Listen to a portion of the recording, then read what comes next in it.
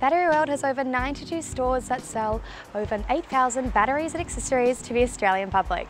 Today we're here at Battery World in Penrith, so let's go check out the wide variety of battery products that they have in store.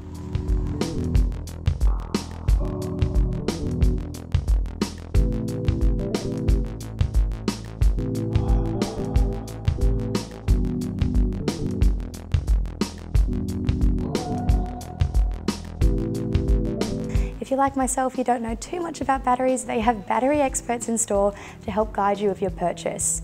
Now besides from the automobile batteries, they have a wide variety of different batteries like mobile phone charging and much more available on site.